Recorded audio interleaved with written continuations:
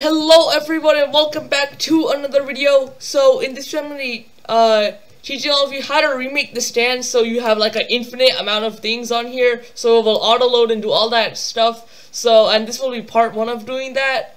So because I could spend so long trying to figure out how to do this. So uh, we'll start off by deleting every single stand except one stand.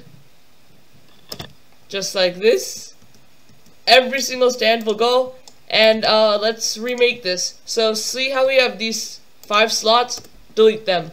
Oh and also uh, before we start uh, this is based off of of a previous model which is in the description. And uh, the live donations model has been added to that model so yeah. And uh, let's start doing this okay? So see now we have this please donate thing empty thing. We're gonna find this part middle part and we're gonna call this uh, item display, I guess. Then we're gonna insert a surface GUI and then a scrolling frame. Uh, see how we can't see the surface GUI? That's probably because it's on a different. No, go away. It's probably because it's on a different part of the thing. No, oops, oops. Uh, bruh. Let's go onto the back. No. Okay, face will be back. Okay, now, for the scroll bar size, it's going to be, okay, we're going to do 0.9 comma 0 comma 0.8 comma 0. So it's kind of like that. So the position will be uh, 0 comma 0.1 for, no, 0.1 comma 0, or no, 0.05 comma 0, like that, and then 0.1 uh, comma 0 for this. So it's like that, and then background transparency will be 1, border size pixel will be 0. But then see how we want it to be vertical, right? So we're just going to make the canvas size 2, comma 0, comma 0, comma 0. Boom. It's on the bottom. Simple as that. Okay. So now in this scrolling frame, we're going to insert a frame. We're going to call this uh, donation. Uh, no, wait. We're going to... What are we going to call this? We're going to call this uh, donation frame. Okay, this will just be a donation frame. So now uh, we're gonna make uh, the size, yep, 0, comma 100, 0, comma 100. So now we're just gonna make this, uh, we're gonna insert a UI corner, okay? Oh no, no, oops. We're just gonna make this background transparency 1, okay? And then we're gonna insert a text button here, and we're gonna call this the purchase button. Button, just like that and then we're going to make the size 0.8 comma 0 comma 0.8 comma 0 so it's like that. Actually no let's do 0 0.9 0.9 comma 0 comma 0.9 comma 0 okay and then let's just quickly uh, make uh, this background so we can center it in here. And let's just make this uh, purchase button. Oops. No no. Okay let's make it green so we can see the difference so let's change the posi position to uh, 0 comma 0.1, no. 0.1 comma 0, no. 0.05 comma 0 and then also 0.05 comma 0, so it's like that. So now with this, we're going to make the background transparency 1. Okay, we're going to make this look better. In the purchase bed, we're going to insert a UI corner. Uh, we're going to make the corner radius 0 comma 10. Then we're gonna just uh, do a text scaled. I'm just gonna do zero or dollar, just like that, and just to make it look better. Okay? See, now we have this. So we will take this donation frame and put it in uh, this proximity prompt script over here, and we'll delete this click detector since we'll no longer need that. Okay? And now we're just gonna quickly insert one local script into starter GUI. We're gonna call this uh, click button. Basically, because these are text buttons, we're gonna have to make this uh, happen locally. Oh yeah, and also uh, one more thing. In this purchase button, we're gonna want to want to insert an int value. Okay, and we're gonna call this uh, asset ID, so we know what ID it is. Just like that. So now, uh, let's just Bro, what the heck am I doing? No. What am I doing? Okay, so we're just gonna quickly skip this. We're gonna do local function. purchase and then we okay so we're gonna do spawn function just like this okay so we're gonna do uh v dot mouse button one click this will all make sense once the script is done okay click connect function. Oops. Okay and then game.marketplace service prompt product purchase game.players a local player no no no just prompt purchase oops. Okay uh, game.players a local player comma v dot asset id dot value okay there's gonna be two more things now we're gonna do for i v in pairs workspace get descendants. So everything in workspace. If v dot name equals equals to purchase button then purchase v okay? And then we're also going to do workspace dot descendant added connect function uh, let's do like obj for object. Okay and then we're going to do if obj dot name equals equals to purchase button then purchase obj okay so now uh, as you can see so basically what this purchase function does is it takes the thing and it prompts the id dot value the asset id that's in the part so here just gets everything in workspace and sees if the button name is purchase button and then it just sends it to uh, like if they click it over here and then same thing over here. And now for the final script that we have to modify and this will be the end of part one bro I spent so much time on this okay? So first of all we're going to delete this line the for ID section in the proximity prompt script okay? And we're going to add a few locals to the top. So we're going to do local hs equals to game get service http service and uh, make sure in game settings in security that you have allow http service okay? And then also we're going to do local URL equals to, okay now this is going to be hard, https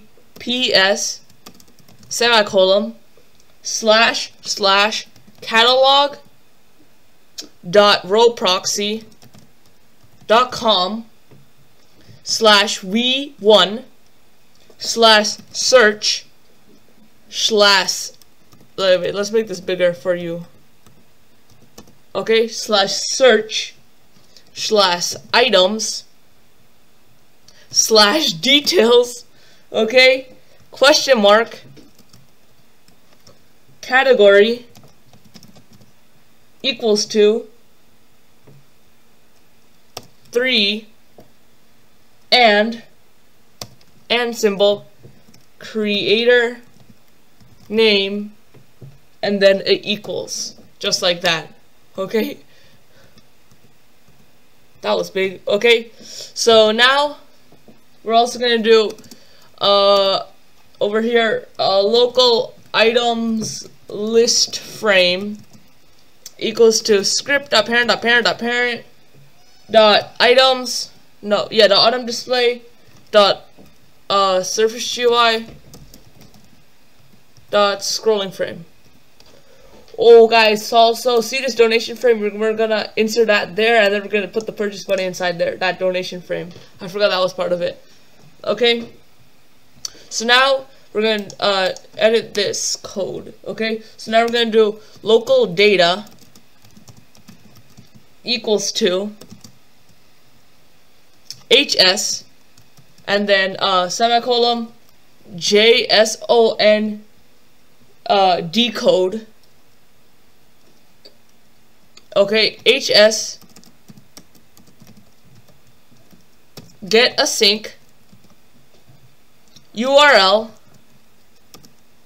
dot dot player dot name and then at the end dot data. No no capitals okay so now we're gonna do if data okay we're gonna uh, take all of this and we're gonna put it inside here See? Put it inside there. So then we're gonna do over here. We're gonna insert a few lines of code, and we will be done with part one. So we're gonna uh part one of this remaking the sand model. Okay, so we're gonna do table dot sort data comma okay? And then we're just gonna do enter. Just saying that this table dot sort thing uh, this is from a different uh, script that I was fine while I was trying to research this. Just saying that I did not make this part. Okay so we're gonna do function a comma b. Okay? Then we're gonna do return a dot, a dot price and then the less than symbol b dot price this is all it is. This table dot sort function. Okay.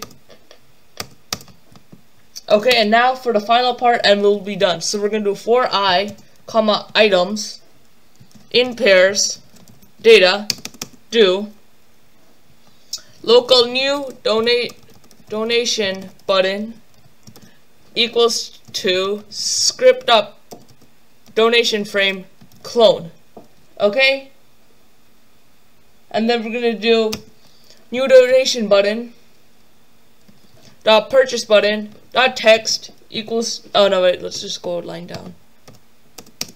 Okay equals to item items dot price make sure it's all lowercase dot dot space uh r dollars just like this.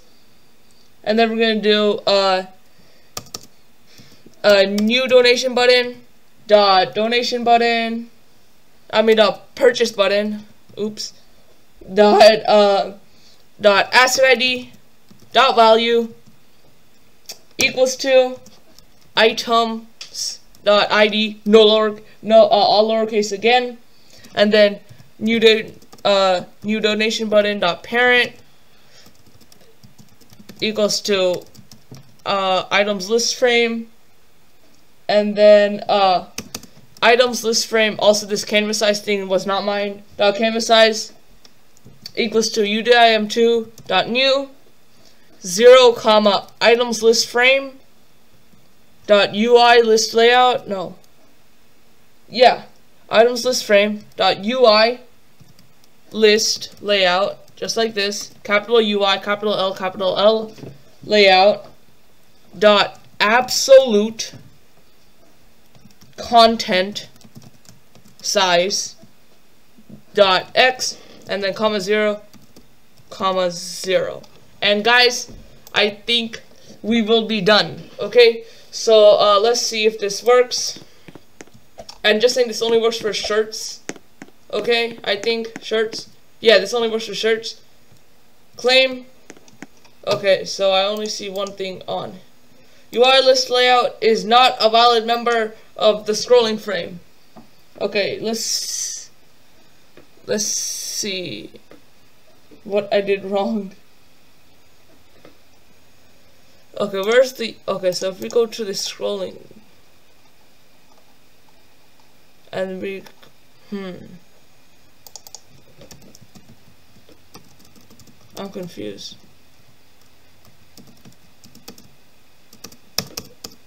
Okay, let's see what we did wrong. Oh, let's undo this, bruh. Okay, items list. Okay, where's the UI list layout? Oh, I see, I see, I see. Oh, I see the problem. So, uh, in this donation frame, uh, no. So, in the scrolling frame, you have to also insert a UI list layout, bro. I completely forgot that you have to insert a UI list layout, okay? I completely forgot, okay? You're gonna make the sort order by name, and then you're gonna make the fill direction horizontal. Just like that. I'm sorry. I forgot to insert that UI list layout. I'm so stupid, okay? That's what it is. Okay, so it like it just makes it like all stacked. Okay, and then we're gonna do if I press claim. Oh look, everything's there. 10 Robux, 50 Robux, and all everything. Everything is there. So uh, next part of this, I'll teach you how to sync it to the most raised, most donated, the live donations, the nuke, and like to sync it to the donation sign, and yeah, and how to make everything reset when it leaves. Like I'm I spent so much time trying to make this. So yeah, that's really guys. I hope you enjoyed. Be sure to like, subscribe, and turn on notifications. Bye!